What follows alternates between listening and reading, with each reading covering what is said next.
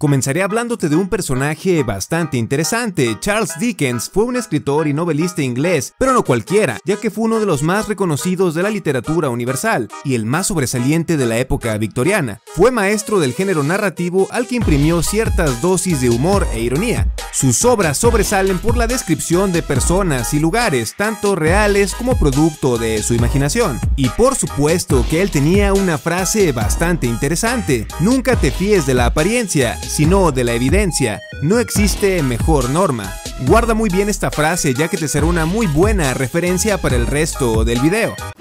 Muchas personas dicen que 4chan es una página horriblemente diseñada y que parece que se quedó atrapada en los foros temáticos de los 90s. Si tú eres una de las personas que piensa eso, estás de cierta forma en lo correcto. La esencia de 4chan es exactamente esa y es parte de sus raíces. Una colección de foros temáticos para compartir imágenes, videos y texto. Sus diferencias con otros sitios web son lo que hace tan especial a esta página. Dejando de lado el diseño retro, tenemos la posibilidad de comentar cualquier publicación siendo anónimos y pudiendo elegir un apodo pero solo si queremos para ambos casos no es necesario registrarse, lo que hace muy difícil mantener el control sobre las publicaciones y los enlaces compartidos, aunque existen moderadores que tratan de regular el orden, lo que convierte a 4chan en un blog colectivo que se alimenta de temas y comentarios creados por anónimos, lo que hace que surjan conversaciones bastante peculiares entre completos desconocidos. Pero empecemos por el principio. 4chan fue creado el 1 de octubre de 2003 en Nueva York por Christopher Poole, mejor conocido como Mood, quien en ese entonces tenía 15 años. Su experiencia en otros sitios web y su afición al anime fueron la combinación ganadora que provocó el nacimiento de 4chan. Esto me recordó cuando Elon Musk, quien es cofundador de PayPal, Tesla Motors y SpaceX, tenía de perfil en Twitter una imagen de un personaje de anime de Full Metal Alchemist, lo que nos demostró que los monos chinos no son malos, pero bueno. Mood frecuentaba el sitio web 2Channel o 2Chan, que es un sitio que se creó en 1999 especializado en anime y en cuyo diseño se basaría 4chan. Como literalmente el sitio web de 4chan estaba basado en 2Channel, él tuvo que traducir el código del sitio web en ciertas partes ya que estaba en japonés. Y se ayudó de Bubblefish, que era un motor de traducción automática creado en 1997, muy similar al traductor de Google, solo que este era proporcionado por Yahoo y Altavista. A partir de este punto, 4chan ha tenido un crecimiento increíble y ha cautivado la atención de millones de personas en todo el mundo. El sitio de estadísticas web de Alexa, propiedad de Amazon, tiene a 4chan en el lugar número 423 de los sitios web más populares de Estados Unidos, con un promedio de 20 millones de visitantes únicos y 540 millones de páginas vistas, todo esto en un mes. Como referencia, Reddit dice tener 15 millones de visitantes únicos al mes y más de 5 millones de páginas vistas. Para entender el éxito de 4chan también es necesario que entiendas cómo funciona, o cuando menos el orden que tiene. Ya que sí, hay un orden en ese desorden, no creas que las cosas están colocadas de manera aleatoria, aunque si alguna vez has entrado ahí, verás que casi es así.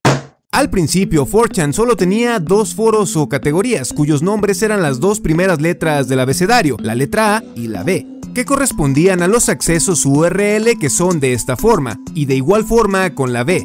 La letra A era exclusiva para las publicaciones de anime, y la B para cualquier otra cosa, pero literalmente no midas tus oscuros pensamientos e imagina qué tipo de cosas podías publicar ahí. El límite lo ponías tú, de verdad las posibilidades eran infinitas, piénsalo.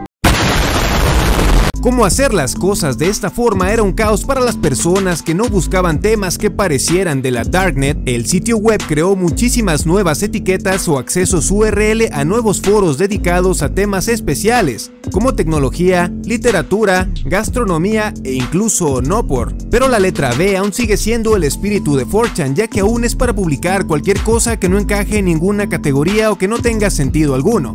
Ya no es tan perturbador como años atrás, pero no es una categoría que te recomendaría ver en familia, tiene mucho material que no es para todos. Muchos bullies y trolls de internet vienen a dejar por aquí un poco de su arena. Para que te des una idea de lo particular que es este lugar, Matías Swart escribió en The New York Times Magazine que la categoría B se lee como el interior de los baños de una escuela preparatoria, una línea telefónica obscena o un blog sin post y lleno de comentarios que no cualquiera entiende y más si eres muy viejo. Esta letra está en la delgada línea de lo que es permitido en internet y lo que no, debido a su catálogo extenso de no por de diversas índoles, imágenes perturbadoras y otros términos que no deberías googlear sin estar bajo un proxy o conectado al internet del vecino o de un amigo, ya que son términos prohibidos y que Google marca a quienes los buscan. Obviamente no puedo poner ejemplos, el video va muy bien para que lo borren o lo desmoneticen. Te preguntarás entonces, ¿por qué no cierran 4chan? Siendo honesto, cerrar 4chan sería algo como romper una hoja de papel con un dibujo que hicieron burlándose de ti.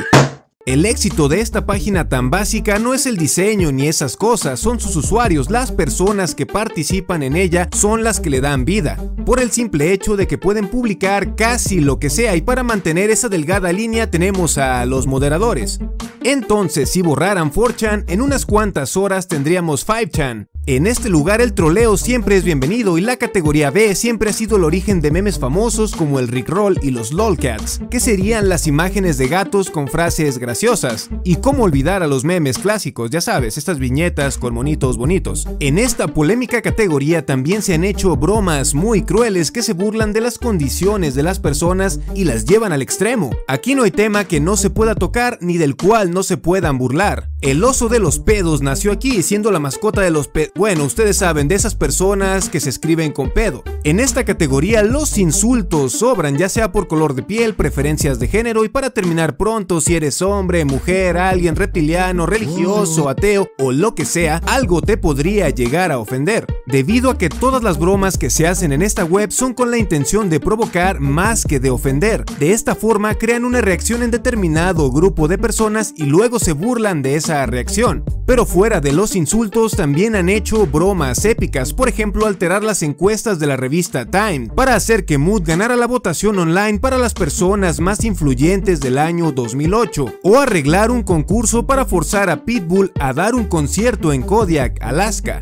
Ni Google se salva del troleo, los anónimos de 4chan se coordinaron para hacer que Google te sugiriera cosas políticamente incorrectas. En los resultados de búsqueda, por ejemplo, memes con los hashtags falsos para ver chicas sin ropa fueron impulsados aquí también, o para que Justin Bieber dejara las drogas. Claro, esto último implicaba subir fotos cortándose en protesta a lo drogadicto de Justin. Algo que nunca faltaba eran las noticias falsas, como la muerte de Steve Jobs cuando estaba vivo, obviamente, o la resurrección del rapero Tupac. También aquí se esparcieron muchas fotos de celebridades sin ropa y luego pasaron a Reddit. Incluso hicieron que muchas personas creyeran que podían cargar la batería de su iPhone en el microondas, ya que supuestamente iOS 8 les daba esa posibilidad y se cargaba en un minuto y medio, a la cual nombraron Wave exclusiva de iOS 8. Ni Donald Trump se salvó de esta inteligencia colectiva de troles debido a que se publicó una teoría que decía que tenía un expediente sucio lleno de cosas perturbadoras, justo cuando había quedado como presidente electo. Inmediatamente los del partido fueron a ver lo que se decía. Por suerte para él, Google protege a los del establishment, que en español se traduce como el grupo de poder establecido. Es más que obvio que el presidente electo de los Estados Unidos forma parte de él, y otras figuras también. Entonces se dificultaba encontrar información de las supuestas acusaciones en Google y otros buscadores grandes. De hecho, hice un video donde te hablo a fondo de Google, si no lo has visto te invito a que lo veas. Te aseguro que aprenderás bastante e incluso puede que sientas empatía con algunas situaciones que todos hemos vivido alrededor de este buscador. Pero volviendo a 4chan, una teoría bastante fuerte dice que en las entrañas de este foro está la sede de Anonymous, Supongo que ellos tienen mejores lugares en donde estar, lo que sí es verdad es que Anonymous nació en 4chan. Una de sus prácticas más comunes son los raids o ataques informáticos sorpresa, los cuales comenzaron por simple diversión como acceder al correo electrónico de algún político o dar de baja alguna página de gobierno. En un principio esto se hacía por molestar, no había ningún fin o causa.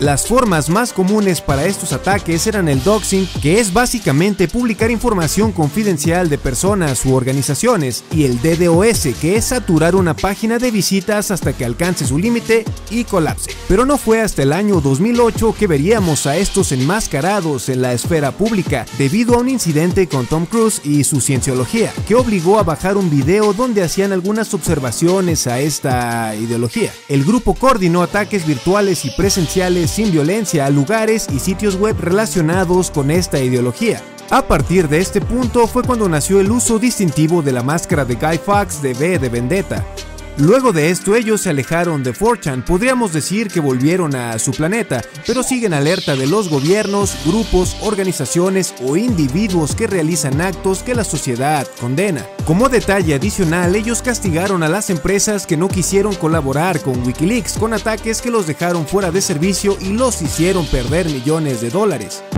¿Quién diría que en 4chan se pueden poner grupos de miles de personas de acuerdo sin conocerse? A diferencia de cuando uno mismo hacía trabajos en equipo para la escuela, y al final cada quien hacía lo que quería. ¿Tú crees que 4chan seguirá creciendo con los años y siendo el punto de encuentro de la mayoría de los trolls de internet? ¿O preferirías que sitios como este desaparecieran ya que no aportan nada bueno? Que antes de que contestes, déjame recordarte que si no fuera por ellos no tendríamos una colección de memes tan buena en la actualidad. Pero esto es aparte. En fin, ¿tú qué opinas de todo esto? Siéntete libre de dejarnos tu opinión en la caja de comentarios y dinos qué piensas al respecto. Nos encantaría saber tu punto de vista. Me despido y que estés muy bien.